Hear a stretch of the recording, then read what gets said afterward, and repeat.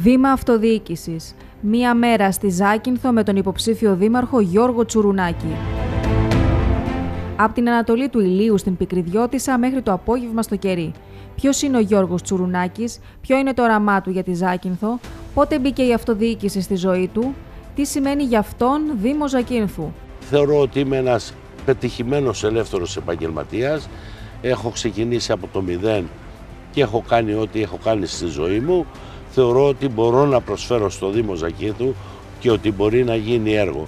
Τα προβλήματα, οι παθογένειες και οι λύσεις. Τι μπορεί να προσφέρει; Ήταν βασικό κομμάτι για μας να ακούσουμε τη φωνή του λαού. Είναι ό,τι καλύτερο και να εμπλέξουμε όσους περισσότερους ανθρώπους μπορούμε και τώρα και στο μέλλον στη λύση των προβλημάτων της Ζακύθου. Βήμα Αυτοδιοίκησης, Τετάρτη 6 Σεπτεμβρίου στις 10 το βράδυ στο Ιόνια.